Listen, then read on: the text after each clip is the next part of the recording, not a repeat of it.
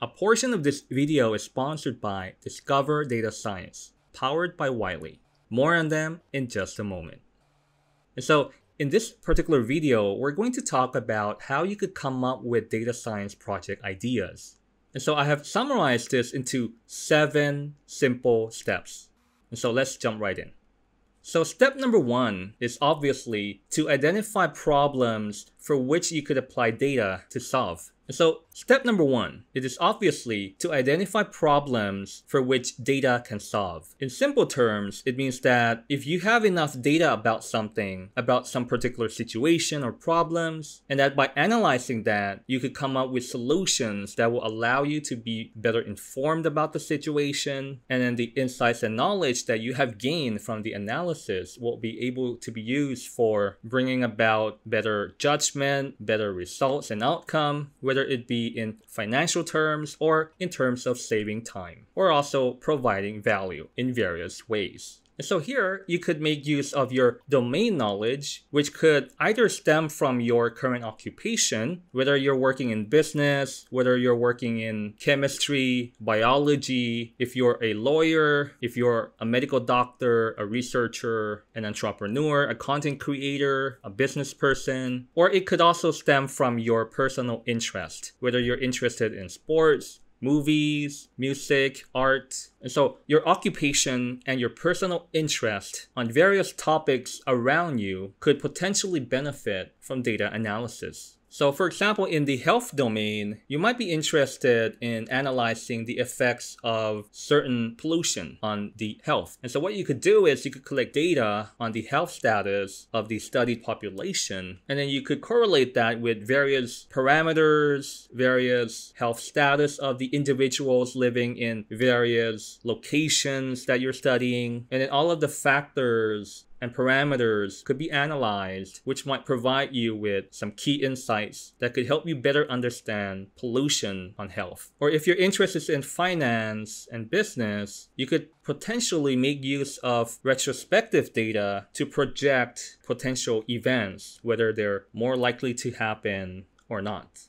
If you're interested in sports, you could potentially make use of past winning and losses data and try to correlate that with various aspects of the game. It might be related to the players, it might be related to weather, it might be related to current events, or you could also make use of video data to perform analysis based on computer vision, make use of the player movements in games to try to correlate with some project ideas or parameters that you're interested in. Or if music is your thing, you might use natural language processing to analyze whether songs are prone to use or favor any certain or particular words more than others. You could also use it to analyze the tempo of the music. You could use it to analyze the topics that the songs are talking about. Or you could also analyze your personal data, your personal learning history. For example, it could come from Spotify, it could come from your Netflix viewing history if you're a movie fanatic. And so the essential thing is you could look around you based on your occupation, your interest, current events around the world. Choose a topic that interests you because you're going to spend some time analyzing the data, so it might as well be interesting to you. You want to analyze it because you are sincerely curious about the topic, which is going to be a big motivator for you to stick to the project because performing these types of data projects will take months, several months. And so if you're interested in the end outcome of the project, that will give you a big boost in you completing the project analysis. Step number two, you want to research about the topic that you're going to work on and you want to see whether there has been prior data about the topic because the thing is you don't want to reinvent the wheel you want to leverage the collective wisdom that several others have dedicated effort into the topic that you might be interested in and so instead of starting from scratch you'll be able to harness all of the knowledge on the particular topic and so how do you do that you could make use of Google. You heard right. Googling will allow you to discover past collective wisdoms on the topic of your interest. You might find blogs that are talking about sports analytics or on movie or music analytics. There might be blogs about the topic that you want to work on. And so it is a great idea that you read these blogs because it's going to provide you with immense value. It's going to provide you with some inspiration, some ideas to kickstart or jumpstart your own data projects. And the same also applies for YouTube videos on sports analytics or the topic of your interest. For example, some data YouTubers might analyze some data sets and then by watching the video, you might have gained some insights or some best practices from the YouTuber or the data professional that you're watching. For example, Nick Wan and Megan Risdal had created this awesome data competition on YouTube or Twitch called Sliced. And it's like a competition show where data professionals compete in analyzing data or creating data visualization. And you get to see their thought process of what they're thinking about and what approaches are they choosing for which particular situation. Another great way is to also watch or listen to podcasts. For example, the ones from Ken Jee on his Ken Neighbor podcast. It's also a great resource for you to watch and learn from other fellow data professionals. Other great podcasts also include The Artists of Data Science, where I have also been fortunate to be on the show. And so the links to all of these resources I'm going to provide you in the video description down below. Let's move on to step number three. And so this entails brainstorming possible solutions to the data problem. And so in this particular step, you're going to be thinking about the data problem. You're going to devise an action plan and how you're going to tackle the data problem. Which descriptors do you want to use? Which learning algorithm do you want to use? Is your focus going to be on building the best accurate model or is it going to be based on analyzing, interpreting the underlying features that govern the property that you want to predict? Or are you going to build and deploy a prediction tool or a prediction API for users to use? So all of these things, you want it to be figured out in advance so that you know what is the necessary skill sets that you're going to need. And if you don't have it yet, then it will serve as a great way for you to know what you want to or have to learn about. So some of the questions that you want to think about in this particular step includes how do you want to collect the data? Is it going to be done manually? Is it going to be done by web scraping?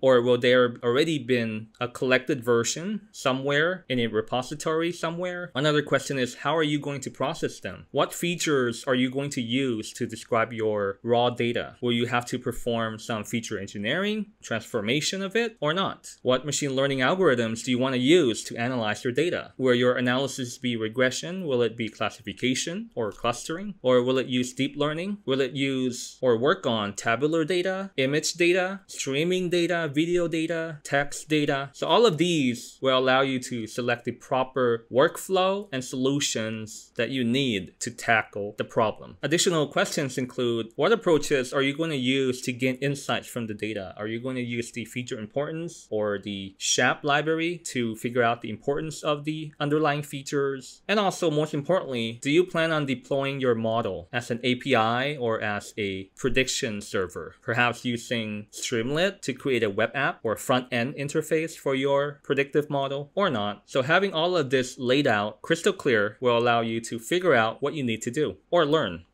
And so a short message from our sponsor, Discover Data Science, powered by Wiley, which is the premier information hub for the field of data science, with in-depth guides on careers, degrees, and industry-leading programming languages. Discover Data Science's goal is to provide accessible resources and materials for prospective students and professionals. Through Discover Data Science, expert-driven articles and publications, you'll learn more about which data science degrees help accomplish your professional goals, the tools and skills that are necessary for a successful career in the field, which career paths appeal to your personal interest, how to land a job in data science, and as you know, data science jobs are rapidly expanding on a global scale with a growing need for qualified data science professionals. It's never been a better time to earn your degree and pursue a career in this rewarding field. You can begin your data science journey by visiting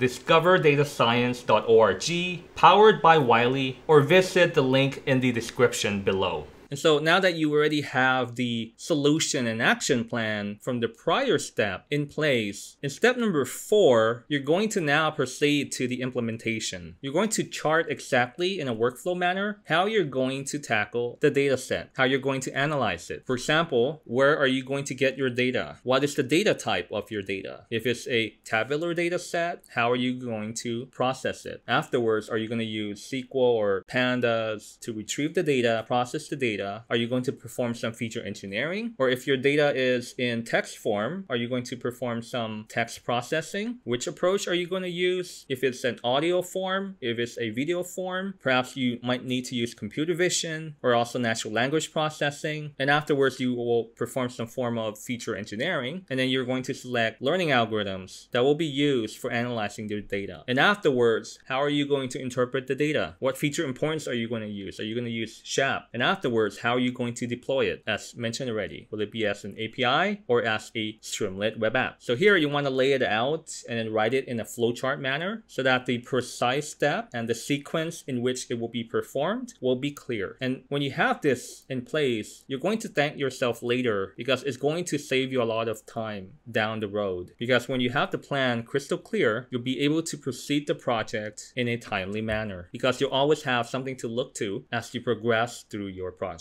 And so in step number five, it's already covered briefly or mentioned briefly already, which is the collection of the data. Will your data come from a pre-existing repository or database? Or will you have to collect it manually, either as a survey data, or would you have to perform web scraping to get your data? And so keep this in mind as you evaluate how you're going to collect the data and the pre-processing that is necessary of the data. In step number six, you're now going to take the data that you have collected and now you're going to perform data analytics on it. You're going to perform exploratory data analysis where you go over the parameters or descriptors or variables in your data set and try to figure out the importance of various underlying features on the variables that you want to predict or focus on. In statistical terms, you want to analyze the contribution of your independent variables on the dependent variable. For example, your dependent variable or Y variable could be viewership on YouTube if you're a content creator. And then the independent variables could be the various parameters surrounding the video data, the topic of the video, the retention time, and etc. So in a nutshell, it will be your Y equals to f of x equation, where you're going to figure out the contribution of the x independent variables on the Y dependent variable. And so your machine learning algorithm will be the function to make sense of the relationship of the x variables so that you'll be able to predict and understand how x influences y. And so typically in this particular phase, you might use Jupyter Notebook, such as the one on Google Colab, for provisioning your analytics workflow. So I personally use Google Colab for creating the data analytics workflow. And once that is in place, I will convert the Jupyter Notebook into a Python script, which I could then embed inside a Streamlit app if I want to make a front-end prediction tool so that users could just click, click and get the prediction results. Or I could also deploy it as a API. And so here in the Jupyter Notebook, you want to make sure that it covers all of the essentials. Exploratory data analysis so that you could analyze the individual X and Y variables. Aside from that, the various data pre-processing of the data, the data splitting, data validation, model building, model comparison and benchmarking, which will help you to determine what is the best learning algorithms, what is the best learning parameters to use, and then finally, how to extract useful insights in the form of feature importance, such as the Gini index from random forest or other tree-based algorithms, or also from the SHAP library, the Shapley values, from which you could perform model interpretation on the importance of the features. And so finally, in step number seven, you want to take the data and the analysis that you have performed, and then you want to consolidate that, make it concise so that you could present it to the general public or to the target group